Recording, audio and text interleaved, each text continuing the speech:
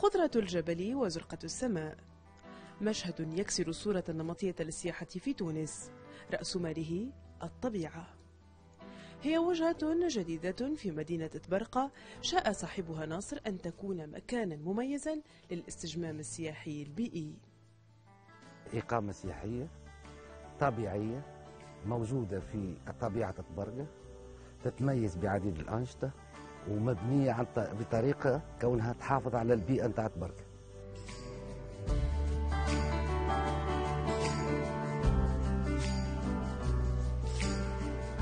خصوصية في البناء والمعمار أساسها المواد الطبيعية. الخشب والخفاف اللذين يعزلان المكان من حر الصيف وبرد الشتاء. أول حاجة حاولنا باش نستعملوها هي بناءات خفيفة تعتمد أولا ورئيسيا على الخشب. وحاولنا باش الطبيعة ما نضروهاش نحاولوا باش نستعملوا دي بيلوتي بطريقة كونه البيئة تبقى نحافظ عليها.